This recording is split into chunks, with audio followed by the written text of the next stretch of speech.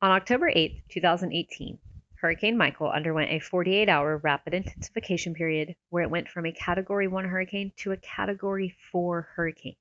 By landfall on October 10, 2018 at 12:30 p.m. Central Time, Hurricane Michael was an unprecedented for the region Category 5 hurricane, making landfall near Tyndall Air Force Base, Florida. Hurricane Michael was the strongest hurricane in recorded history to make landfall on the Florida Panhandle landing with sustained winds of 161 miles per hour and a minimum pressure of 919 millibars. The storm was the fourth most powerful hurricane to hit the United States, spreading devastation far inland through many counties in northwestern Florida, from Bay County, Gulf County, Calhoun County, even through Jackson County and Leon County, where the state capital is located.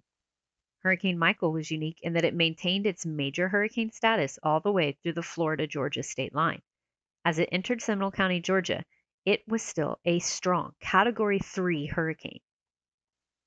Across northwestern Florida and into the state of Georgia, Hurricane Michael was responsible for $25 billion in damages. These are the 31 voices of Hurricane Michael representing the many unique experiences and perspectives of the community members who endured the storm and its impacts.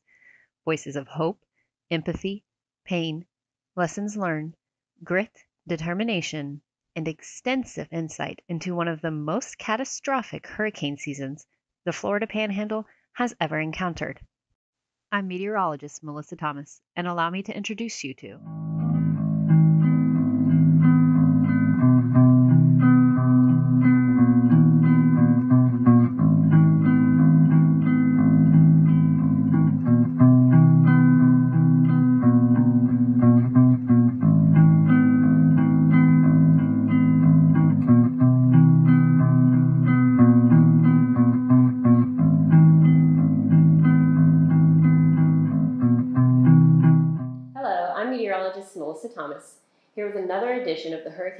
Michael's Voice the Project.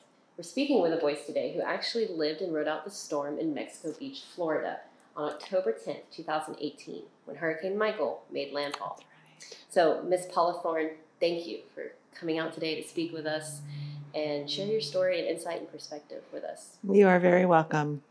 So, we'll start with um, how was Mexico Beach home to you pre landfall? Well, my husband and I retired here in Mexico Beach a year and two months before the storm. It was August of 2017, and I had retired in June, and we lived in Northern California. And by the middle of August, we had sold our house, sold all of our belongings, except for the intimate you know, precious things yeah. we wanted to bring with us. We sent it in a pod. We got in our car with our dog and drove across country. Aww.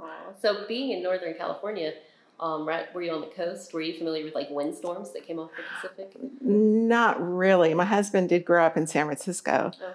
but um, I was a valley girl in Sacramento. So, but uh, now, would you say you were familiar with big storms prior to moving here as no. far as hurricanes go? No, not at all. not at all. So, um, when we got to Mexico Beach was actually our destination, although we had we hadn't done no shopping for homes. We had not been here before. We just decided by looking at Google Earth and some place on the coast that didn't have high-rise buildings. We just this was our target where we you know wanted to start looking. This was a perfect spot because the whole goal is to stay low rise. Yes, exactly. So 2018 rolls around the summer. Are you thinking hurricane? Are you prepared? Um, had you been exposed to hurricane preparedness prior to each season? No, just moving here. No, not at all. Um, I mean, we've heard we'd heard about it. Yeah. You know, our realtor uh, when we decided to buy in this building, said, you know, that's the safest building as far as hurricanes. It's all category four, you know, reinforced with the hurricane windows. And she said, if we ever have a hurricane, I'm going to come to your building to ride it out. That's exactly what she said. well, that's comforting. Yeah, Well, that's what we thought. comforting That's what we thought, Especially not yeah. being too familiar with hurricanes to, to start off with. Um, right. The month of October rolls in. Are you being exposed to the forecast, the growing storm in the Gulf as it's approaching? What were you thinking, not being real experienced with that scenario beforehand? Well, this sounds kind of silly, but I was kind of excited about it. Not silly at all. Weather fan here. Reason You I'm know? meteorology. hmm We're out there. Yeah, I was excited. And um, since it seemed like it was only going to be maybe a one or maybe a two, uh, my kids in California were calling me, you know, the day before, get out of there. You guys got to go. It's a hurricane. Go. And I'm like, no, no big deal, you know, small You- hurricane. You were the opposite end of the spectrum. There's a lot of community members that stayed f- due to familiarity with storms and comfort. Mhm. I've been through it. You were on the opposite end of the spectrum that you weren't familiar with what you were about to face. Oblivious. so you hung around very comfortably. Yes. Any So, last minute preparations? Um, did you feel s- secure with what you had as far as food, water? Did someone give you a rundown for okay, you're Of, staying? of course, yeah. is what you're Yeah, we were watching, you know, the news and everything. And so we had plenty of water. We filled up the bathtub to flush the toilet. And we thought, you know, we had lots of food and a lot of canned food. We figured we'd be without electricity for maybe a few days. and so we thought we were ready. And um, And you had- can see the water yes, from where you're staying. absolutely. We're on the fourth floor, the top floor of this building. Were- As, as Gulf Front as Gulf Front gets. Yes, definitely. And there were five people that stayed from in this building, uh, owners, and so, but we only knew of the four, uh, three of us. We didn't know one, two, three, four. There were six, two more on the other side of the building. We didn't even know they were here until after the storm.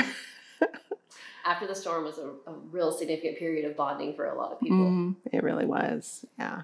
The storm rolls through. You're hunkered, hunkered down. Is it just you and your husband? Yeah, it was just the two of us, and I was actually sitting on the sofa looking out the window at the ocean.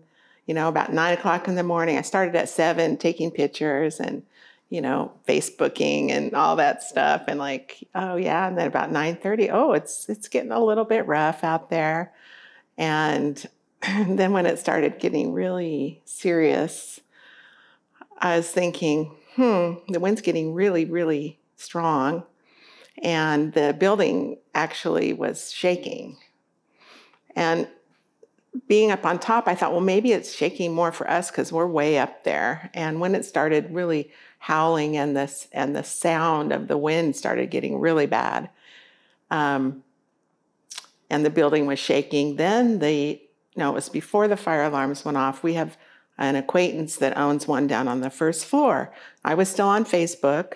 It, we hadn't lost power yet, and I and I messaged her and you know told her this building's really shaking. She said, "You want to go down to our unit? Go ahead, down on the first floor." And so I was just about to say, "How do I get in?" Because she had a lock on it, and then we lost power. So we stayed in our unit, and um, then the fire alarm started going off in the whole building because it was shaking. So we had the building shaking and the sound of the train of the wind and the fire alarms going off. And all of a sudden, I'm like, I smell smoke. I thought it was all psychosomatic from the fire alarms, but I, you know, was running around saying, I smell smoke. And my husband said, That's There's so no smoke. there's no smoke. It's just you know from the building shaking and so he calmed me down and we had our drapes pulled uh, on the front at that point because there was uh, so much wind and we were afraid that it might the glass might break. And i opened the drapes and looked out and we have an eight foot balcony i couldn't see the railing on the balcony at that point. It was just white everywhere, except for black things just flying by, you know, objects. Yeah, they weren't real clear. Just, just like just Pieces of wood, yes, whatever around. it was. Yeah, we I had no idea what it was. terrifying. So we close the drapes again. And at this time, I'm pretty much a basket case. And I probably would be too, even as a weather fan. I was. So uh, my husband uh, took me in the back where the bedrooms are, and I laid down on the bed, and he's like, you know, you just got to. This will be over soon, you know, just kind of trying to Yeah. settle me down, and um, I don't remember anything for about an hour after that. So I think You were not the only one. I shut down. There was um, a couple interviewees I had that have Mhm. memory lapse through the Mhm. actual Im- impact and landfall. something like that. Exactly. So that's a common Yeah. recurring theme. hmm alone in that. Yeah. So he came back and, you know, kind of asked me how I was doing. Uh, when things had calmed down a little bit, I think it was about three o'clock or maybe two thirty or three o'clock, and said, "I need your help." And I said, "What's going on?" And he said, "Well, I can't open the door, the front door, because the breezeways are full of water." So, and this whole time, he was actually used every towel in our house trying to sop up the water that was coming under the doors. And we had no window breakage. We had no, you know, no breaches that way. But unbeknownst to us, uh, we had lost the roof of the building. So, and at that time, we didn't see any water coming in or anything, but um, that came later. Yeah. So anyway, there uh, we have a window in the breezeway, several. But he says, "I want to. I'm going to open this window and climb out. If you'll hand me the broom, I'm going to try to because there's drains along the breezeway, and he wanted to clear the drains so we could open the door and get out, and which he did. So um, there was about six inches of water in the breezeway." And there was so much stuff down in the drains that And this is still on the fourth. this is the fourth floor. Yeah. So um, there was so much debris and gunk and stuff in the drains that it, they still wouldn't drain. So he sloshed around the corner to the where the stairwell is and opened the stairwell door, and all the water drained down down to the bottom parking Very, deck. very smart. I cannot imagine that. I, Yeah. I, I never would have considered that as far as being multiple levels up, rainfall Mhm. accumulating due to poor drainage during an event like that. That's not something I've considered. hmm Yeah. Must have been- And because of the location of where, because the wind was coming this way and our unit breezeway, you know, our doors on the side here, so it was all blowing right down the breezeway and getting caught around the corner by the stairwell doors and the elevator lobbies. So you're emerging at this point Yes. into post Hurricane Michael. It's the, the immediate aftermath. You're you're coming out of for Mexico Beach. You are quite literally coming out of the rubble. That's right. Of course, I had been wa- looking out the front, out the balcony, and uh, we live, the building's right across the street from where Toucans was. And um, Toucans was gone, completely gone. A, It, s- a standing restaurant before the landfall, yes. and then after, Yes. just Yes, I have uh, shared a picture with you about the the night before, a picture of toucans, and then after the storm. before and after. Yeah. So toucans was actually most of it was in a 30 foot high debris pile on covering all of 98 on one side of our building. And a lot of it came down into our parking garage, along with about two or three feet of sand. And, you know, we thought that, Everything the wind picks up and just oh, yeah, yes. your vehicle was located. It was in our parking garage on the upper level. Um, we thought that maybe the lower level might uh, flood because the street goes down and, and the parking you know, driveway goes down. And we're thinking, no, we'll just leave it up on top. We parked it against a big barrier wall. So the wind wasn't directly, you know, coming in, and we thought the water probably won't come in that much over there. Well, smart, smart. it there were several people in fact people that used to live here and some friends actually brought their cars their vehicles here thinking this would be a really safe place to park them and um, all of the it was all the cars were just jumbled around in that whole parking deck like a pinball machine and they were all some of them were upend against the back, some of them were upend against each other, and just with debris and sand all over them. It was just And you had part of toucans. Oh yes, so we did. The uh, our vehicle ended up way in the back corner, uh, and the freezer, the deep freeze door, was laying up against our car. And my husband found he went down and looked around first before I ever went down there, and he said, "You'll never guess what's on our car." It's Toucan's freezer door, and it says on the door, "Do not slam this door." Yeah, Hurricane Michael definitely slammed that. door. It did. It definitely did. Yeah. How long were you in your immediate vicinity post storm before you started to venture out into the rest of Mexico Beach and see the extent of what had occurred? Well, we couldn't get out because the debris building was, or the debris on the highway was completely, we couldn't go down that way. And we couldn't go to the right either, uh, to the west on 98 because the canal bridge collapsed. So really, we couldn't go anywhere from our building. We were pretty much like, this is where we are until something else happens. That's home base until you Uh, yeah. get maneuverability. Right. So that's when we uh, located. Everybody kind of came out, you know, on their walkways and balconies, and we checking on our friends that we knew were here, and then the other couple from across the other side of the building who had ridden the storm out in the stairwell, which was really smart.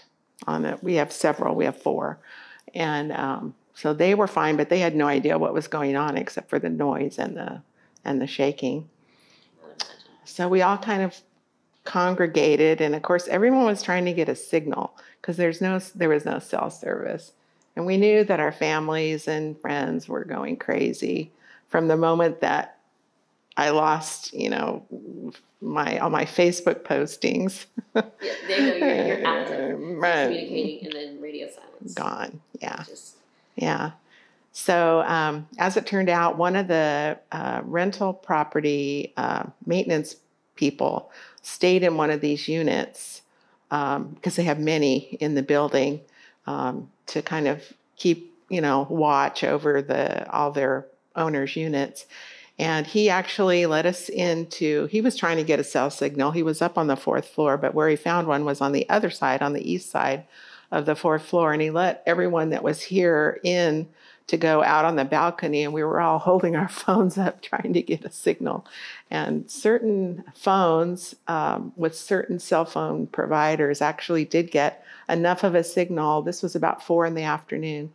Um, we were borrowing people's phone that there were two people that had a signal and we just texted um, we're safe you know? And my son later told me that you know he both of them they said we got the, we got this text from this number of this person you know we've never even heard of and all it says is we're safe I can imagine that's something I would do. You're in the moment. You're just so excited to get Yeah. that word out. You don't even think this is this is mom. We're safe. Yeah. it's just the first thing you want to say is we're safe. That makes complete yeah sense. yeah Complete sense. so um, that day we were just we did want venture out onto the street we went down the stairwells uh, to and had to push the door open to get the sand out of the way down on the parking deck on the main street level. And um, we did go out on the street and just kind of walk around and it was just utter disbelief is all i can say. Looking from here we could see our building was kind of messed up and there was a couple windows broken and you know but it was we had no idea besides what toucans look like what the rest of the town looked like and um, to see that we were actually blocked in that we couldn't get out was kind of scary I'm sure. um, just stuck on this just massive pile of debris, essentially, and- or in it. In it. hmm Were you able to stay in your home immediately after the storm? Were you able to? You're moving on to putting things back together now. You have that immediate. It's less of a rebuild and more of a salvage cleanup. Where were you able to start that process at? Was it from home or? well, we stayed the night of the storm in our condo with, of course, no no anything. And um, the next morning, early, we could hear helicopters and things. And so, you know, we went out on the balconies and we were like, hey, we need some help. so finally, I think it was around noonish. Um, the FEMA search and rescue, one of them teams, came by and they we saw them down on the street and they asked us how how do we get up there, and we told them how to make their way and they knocked on the door. And I opened it and they said, Your build this building isn't safe, you have to evacuate right now. And he said, You have five minutes to pack. And you can't take a suitcase, just take like a backpack size or a small bag you can carry. That's what they told us. We had five minutes. So, of course, you're scrambling. You're thinking, I need my medicine, I need my papers, I need my insurance, you know, and something to wear, maybe. so, um, we all, all of us uh, that were here, evacuated except for one whose uh, spouse was actually had been out of town and she was on her way back. So he did not uh, leave. He waited for her to get, and she had a car. None of us had a, had a vehicle. Everything was gone. So um, what they had done is they created a, a makeshift bridge out of uh, debris and boards and things to go over the the canal bridge that had collapsed. And they Interesting. Yes. And one of our friends who rode out the storm was 84 years old, a single woman. And she lives right upstairs, right here. And uh, so we, you know, of course, we're looking out for her, but she's a very independent, self sufficient woman. She was, you know, she was great. And we all made our way sidestepping across this little, like walking the plank across the canal. Um, bridge that they had made for us. So we got across the bridge and with this little pack that we and I had a it was actually a small suitcase, but it had pack uh, back things on it, Straps. Yeah. straps, and um, they dropped us. Then we just then we just then they just said, now just wait here, and someone will come and get you. So we waited, and it was very hot the next day, and we waited. And we were out in the sun, and we waited about an hour, and there was we were just standing there. And my husband says, let's just start walking, you know. And I'm like, well, if he told someone to come and get us, we probably should stay here. The road was not passable. It was really, there was debris everywhere and concrete everywhere. And so finally, another group of people came by and said, what are you guys standing here for? Another group of, you know, uh, search and rescue people.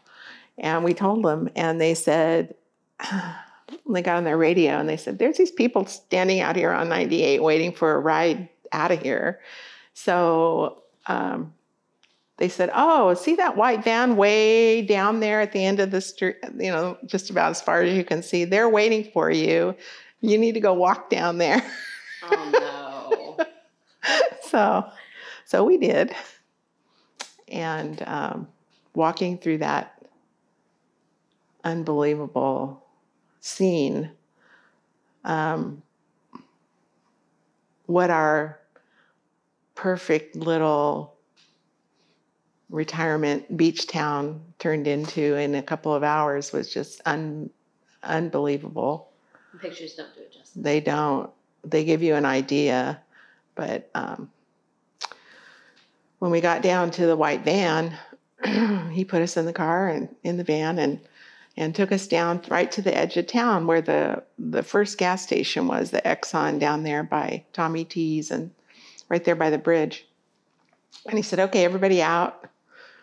And we're like okay so what are we doing down here that was i think it was at pier road is where it was and he says, wait here and somebody will come and get you. You sure not another van? There's another placed somewhere we're five gonna have to people. Right. There's another five people, Yeah. you know. So we waited there for about another hour. And finally, um, one of the, the other men in our group that had evacuated um, said, I'm not just going to sit around, stand around here. I'm going to go, you know, we got to do something. We got to get out of here.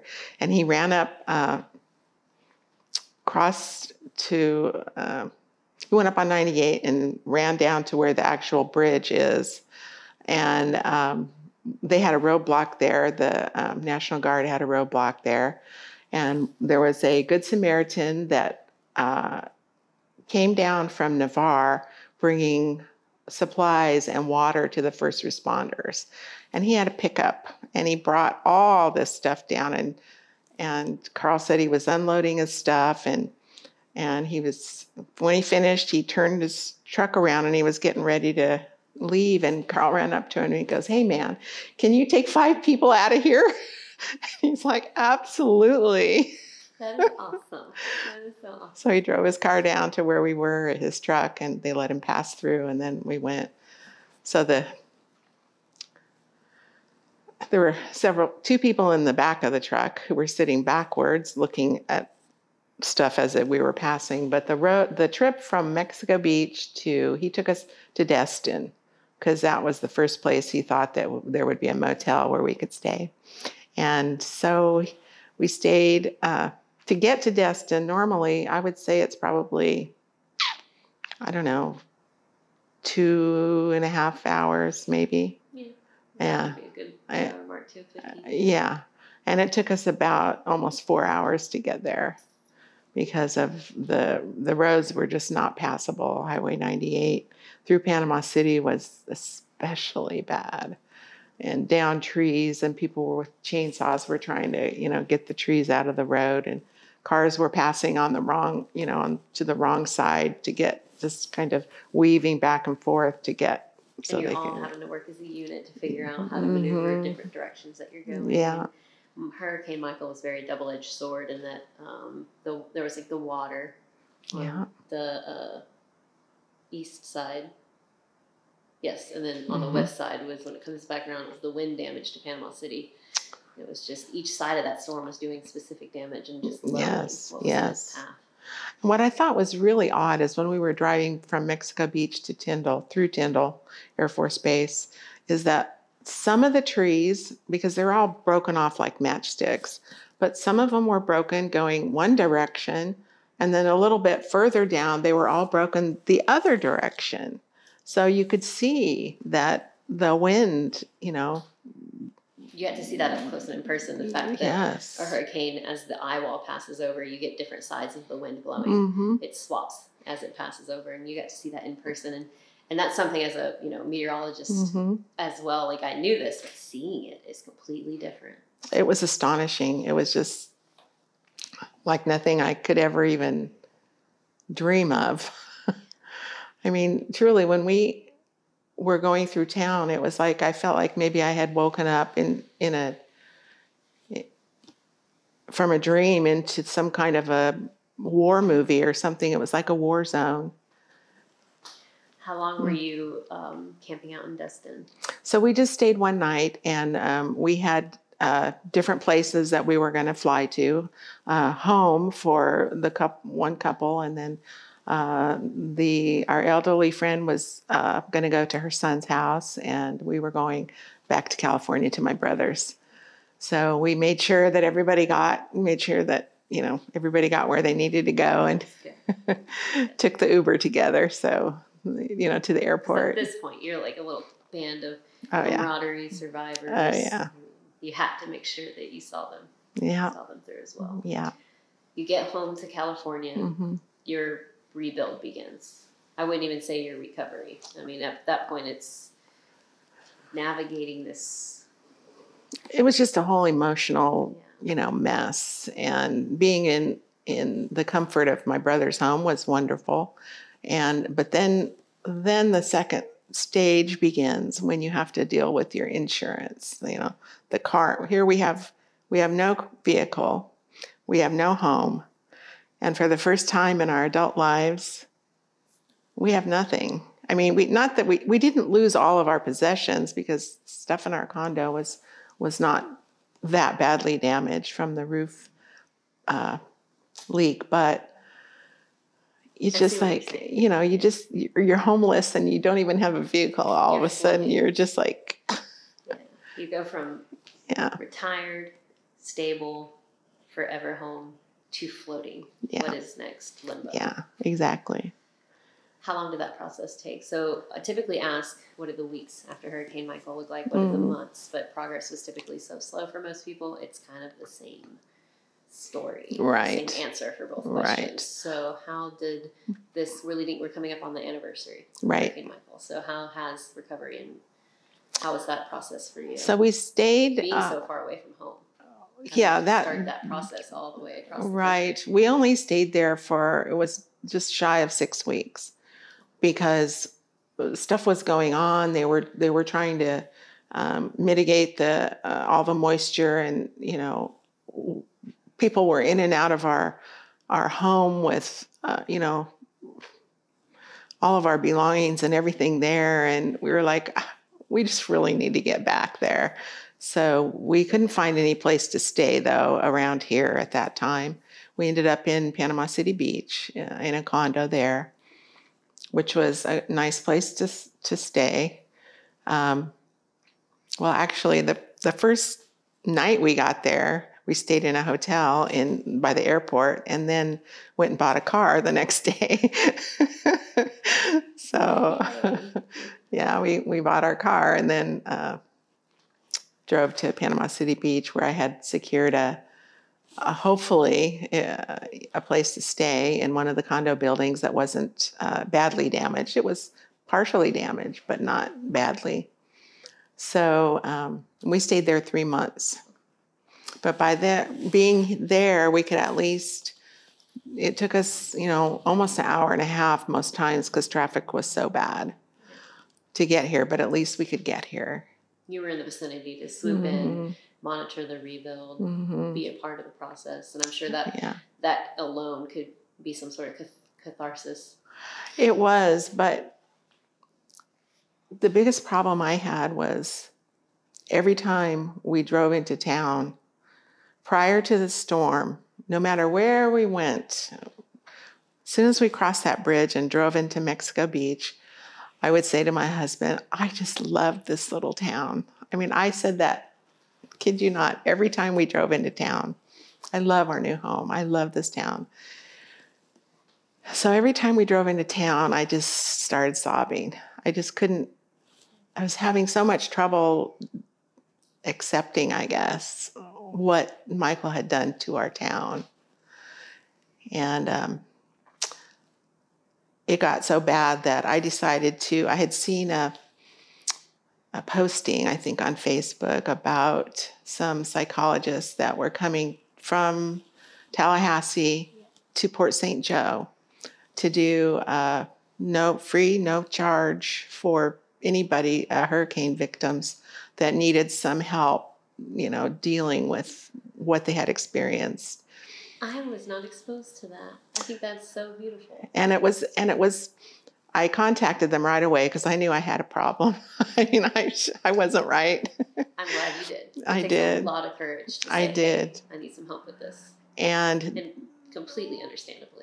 and when they contacted me back the gal that did very very sweet person and she sent me some literature and it was a a kind of treatment called eft and it's a kind of a tapping where you tap yourself in rhythm you know, one leg and then the other, and then all kinds of different ways where you tap yourself. Because what how they explained was that the your left brain and your right brain, um, when you experience trauma like that, they get off sequence, and they can't mesh well.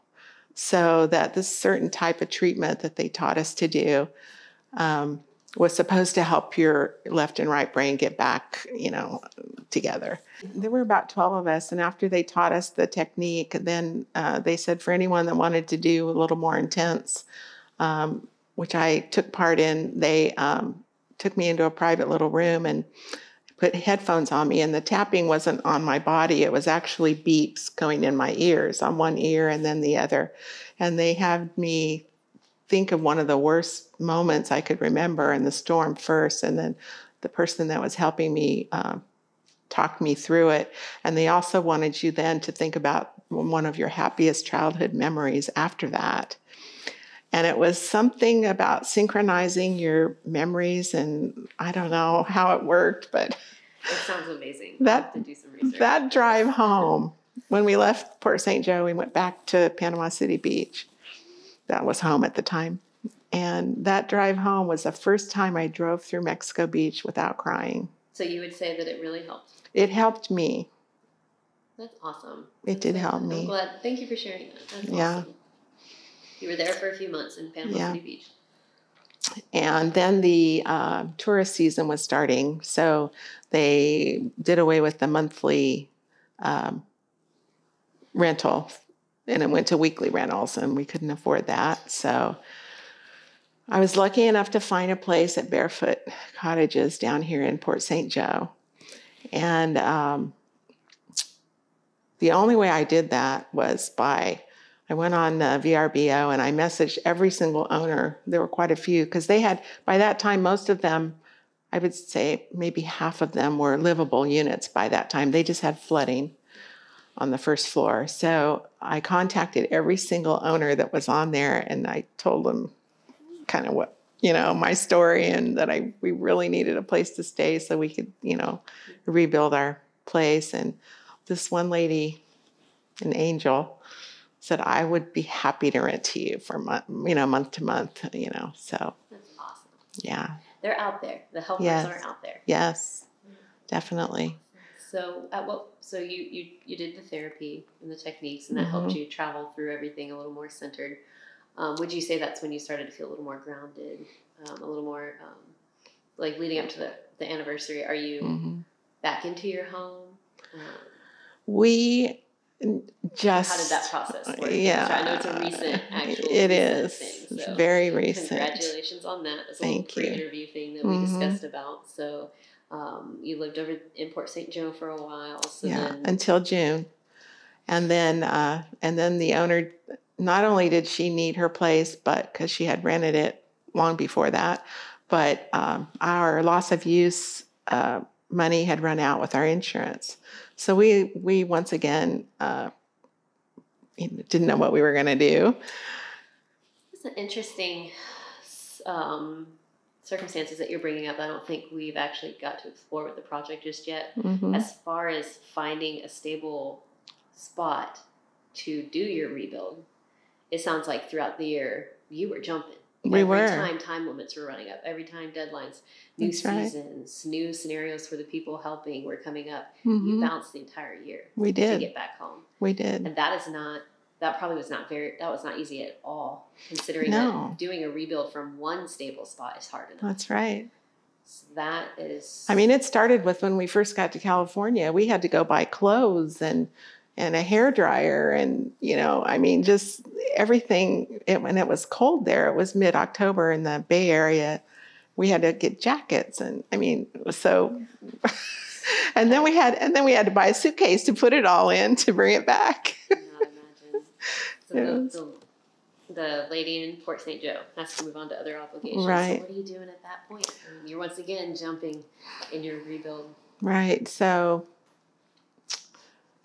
we were really, really fortunate to be friends with a couple who are fabulous, who had this whole time, and they stayed for the storm also. Um, they had a couple extra rooms in their house, a young couple with no children. Their house was livable, they were living in it, and this whole time that we weren't you know, there, here, they were letting other people who needed a place to live stay in their home. And it just so happened that in June, right about that time, when we needed their help, they their rooms were empty. So they offered us a room in their home Yay. and it became one of the most wonderful experiences that is awesome because not only did we have a place to live that was wonderful but to get to know this young couple so well and my husband's very handy. He's actually doing all the repairs in our condo. Um, so he fixed things all around their house that needed fixing. So, and they both worked full time. So, um, you know, I did as much cooking as I could and, you know, grocery shopping. And my husband was doing, you know, repairs that needed to be done badly around the house. And so that was our way of, you know, contributing and thanking them for helping us. Full time hours. Cook, Yes. Cook dinner for me. We're good. Yeah. And in Panama City, too, uh, the wife worked in, Oh, works in Panama City. She was making that commute when Yes. was difficult. Yes, yes, forth. yes.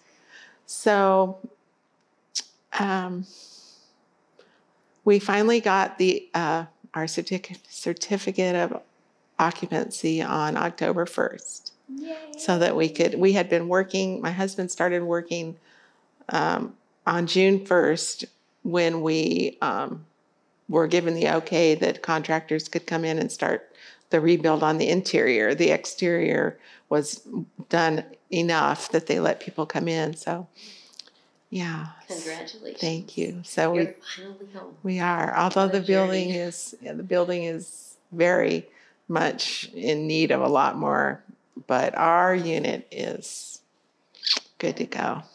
Well, before we wrap the interview up, is there any any highlights you don't want to forget before we wrap up the interview? Any words of advice, or or actually, here's a good one we can wrap it up on. As far as jumping through your rebuild from different locations Mhm. throughout the year, what would you say to anybody that had to go through that? Is there is there any words of advice that would help someone having to rebuild their life while also ti- simultaneously transitioning every couple of months?